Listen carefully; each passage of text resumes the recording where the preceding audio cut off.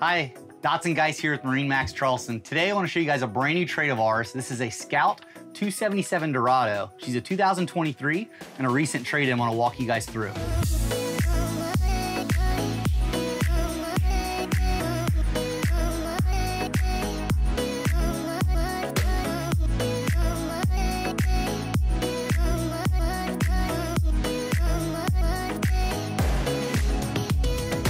We're gonna walk you to start to the front of the boat.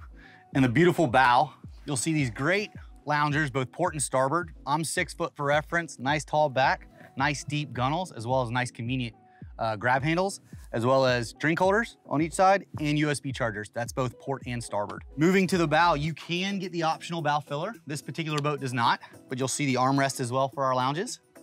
Our flip windshield and walk-through door that opens and closes off that cockpit for those cooler mornings. Underneath both sides, you do have storage, both port and starboard. These are insulated boxes. And then moving to the bow, we have her equipped with the optional rod holder cup holders, and as well as the windlass system, toggles up and down, and as well as the bow boarding ladder here in the bow. Now we're here at the helm, I wanna show you guys the port side. So nice convenient placed wireless phone charger for your passengers that slides in, secures it nicely, and instantly charges, as well as conveniently placed USB ports there to the port, glove boxes, and as well as additional phone storage.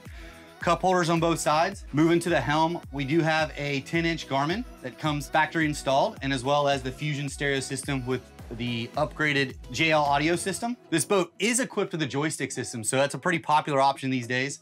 Um, this is an Optimus system on this particular boat, and she's powered with twin Mercury 225 horsepowers. She is equipped with VHF and digital switching. So in that platform, we can show you a little further in detail, but you have all that conveniently placed at your fingertips. Moving up top, you have convenient grab rails and grab bars if you're walking down the boat as it's underway.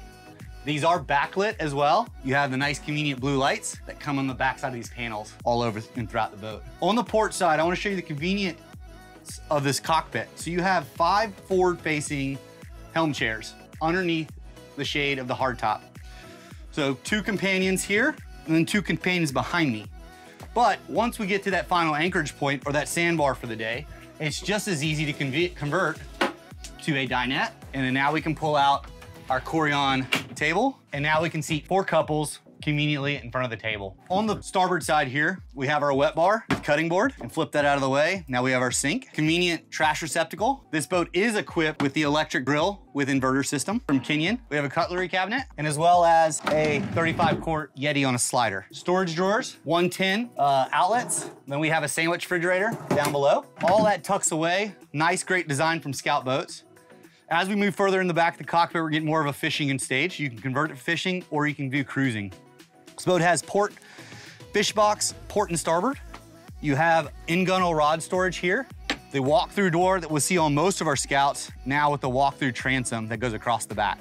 This boat is equipped with a ski tow or ski pylon. Also the outboard engine flush system. So one common port flushes both engines simultaneously with the push of a button. We have a systems access here in the transom as well but as well as a pop-out seat. And again, two, if not three with kids. And we have the standard uh, bait well. Our port side here, we do have the standard in-swinging door. So that's conveniently if you're docking or if the kids just want to jump in and out of the boat, nice and easy, get away from the engine. This boat does have the quick disconnect fender pros for the fenders.